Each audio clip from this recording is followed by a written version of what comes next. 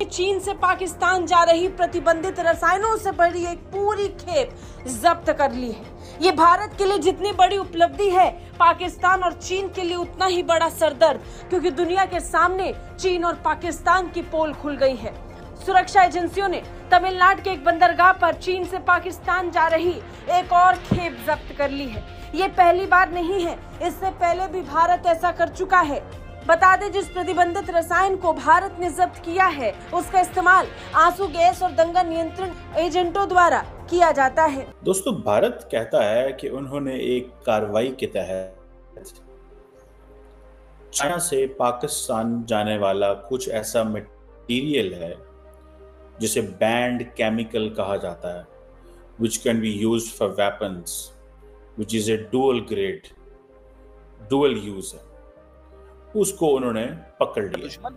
India पदेशी हमारा दुश्मन। और उन्होंने इंडिया ने पहले भी हमारा शिप पकड़ लिया था। हाँ। इंडिया ने फिर हमारा शिप पकड़ लिया। हमारे सामान रोक लिए इंडिया ने। इंडिया तो हमारे साथ दुश्मनी करता है हमें आगे नहीं निकलने दे रहा। इस बार मैं इंडिया को अप्रिशिएट करना चाहूँगा।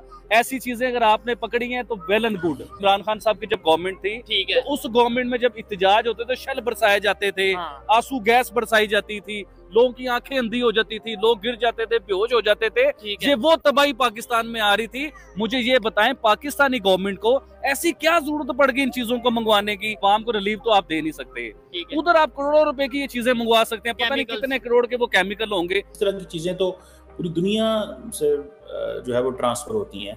ये चैंगडू सियाचन ट्रेडिंग कंपनी है उसने ये भेजा और ये जा एक पाकिस्तान की रोहेल एंटरप्राइजेज रावलपिंडी बेस एक डिफेंस सप्लायर है उसके पास जा रही थी को 2500 किलोग्राम का ये मटेरियल है एक सौ तीन के करीब।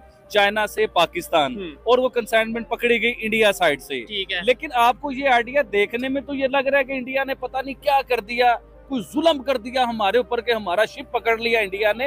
लेकिन आपको ये आइडिया कि इंडिया ने कितने मुसलमानों की जान बचाई है अच्छा। कितने लोगों की मुसलमानों को भी छोड़ो कितनी बड़ी इंसानियत की जान बचाई है उस शिप के बीच में क्या था?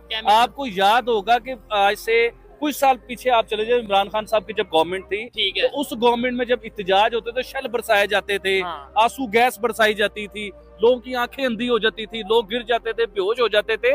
ये वो तबाही पाकिस्तान में आ रही थी। मुझे ये बताएँ पाकिस्तानी गवर्नमेंट को ऐसी क्या ज़रूरत पड़ गई इन चीज़ों को मंगवाने की? ऐसी क्या ज़रूरत पड़ गई कि ये चीज़ें चाइना से हमारे इधर इम्पोर्ट की जाए या एक्सपोर्ट की जाए? चाइना नहीं है। सो अब देखिए ये जो कंसाइनमेंट है इस तरह की चीज़ें तो पूरी दुनिया से जो है वो ट्रांसफ़र होती हैं। ये चैंगडू सियाचन ट्रेडिंग कंपनी है उसने ये भेजा और ये जा एक पाकिस्तान की रोहेल एंटरप्राइजेज रावलपिंडी बेस एक डिफेंस सप्लायर है उसके पास जा रही थी। को 2500 किलोग्राम का ये मटेरियल है। अ, 103 के करीब ड्रम थे जिनमें ये चीज़ें जा रही थी। एक चीज़ तो ये हो गई। अब इंडिया कहता है जी कि ये जो केमिकल है, ये इंडिया की एक्सपोर्ट कंट्रोल लिस्ट के ऊपर है। इसे बोलते हैं special chemicals, organisms, materials, equipment and technologies. ये एक, जिसे कहते हैं ना कंट्रोल्ड सब्सटेंस है। और जारी बात है, इसके ऊपर इन्वेस्टिगेशन होगी। अब कहा जा रहा है, जिसे वो कहते हैं ना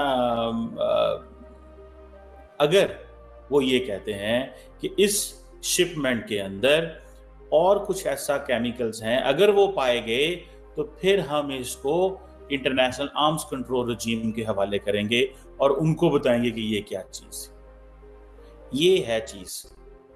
अब अगर वो कह रहे हैं कि ये जो एक है एक बेसिकली केमिकल है जिसको ऑर्थोक्लोरो बेंजाल्डीन कहते हैं आई थिंक वो अगर पाकिस्तान की तरफ़ जा रहा है तो उससे ये पाकिस्तान जो है वो वेपन्स ऑफ़ मैस डिस्ट्रक्शन बना सकता है। या कोई डिलीवरी सिस्टम जो है वो कर सकता है। ये उनका इंडिया का मौकफ है। ठीक है जी? अब क्वेश्चन ये है कि ये इंडिया आपको पता है इंडियन ओशन के अंदर बहुत एक्टिव हुआ हुआ है। ठीक है जी? और बेसिकली तो इंडिया पैगाम दे रहा है चाइना और पाकिस्तान को। कि इंडियन ओशन से जो कुछ भी गुजरेगा हम उस पर नज़र रखेंगे ये हमारी टेरिटरी है this is a message to China and Pakistan लेकिन क्वेश्चन ये है कि अच्छा मैं अपनी गवर्नमेंट से ये सवाल करता हूँ हम्म। आपको क्या ज़रूरत थी ऐसी चीज़ें मंगवाने की हम्म। कि आप देखें मेरी बात सुन अवाम को रिलीफ तो आप दे नहीं सकते।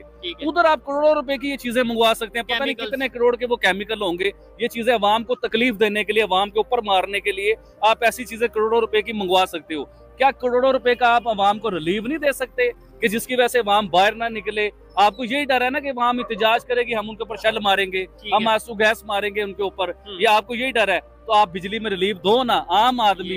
एक आम आदमी जो बीस बीस तीस तीस हज़ार रूपए बिल दे रहा है जिसकी सैलरी तीस हज़ार रूपए है हम्म। वो बेचारा शैली खाएगा ना बाहर सड़कों पे आएगा उसकी तो ये हिम्मत भी नहीं है सड़कों पे निकलने के लिए। अभी पाकिस्तानी मीडिया जो इसके ऊपर खबर चलाएगा या चल गई होगी या नहीं चली उन्होंने खबर ये चलाने की इंडिया हमारा दुश्मन। इंडिया पदेशी हमारा दुश्मन और उन्होंने इंडिया ने पहले भी हमारा शिप पकड़ लिया था इंडिया ने फिर हमारा शिप पकड़ लिया हमारे सामान रोक लिए इंडिया ने। इंडिया तो हमारे साथ दुश्मनी करता है हमें आगे नहीं निकलने दे रहा। इस बार मैं इंडिया को अप्रिशिएट करना चाहूँगा।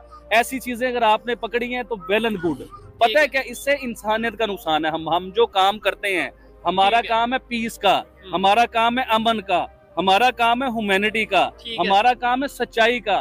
हम तो मुझे उम्मीद है कि ये वीडियो आपको पसंद आया होगा। वीडियो पसंद है तो प्लीज़ हमारे यूट्यूब चैनल को ज़रूर सब्सक्राइब कीजिए।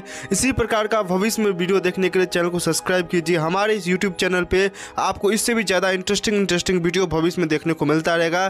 तो प्लीज़ हमारे यूट्यूब चैनल सोच टाइम्स को सब्सक्राइब कीजिए, वीडियो को लाइक कीजिए। इस वीडियो को अपने दोस्तों के साथ ज़रूर शेयर कीजिए। नमस्कार, फिर मिलेंगे अगले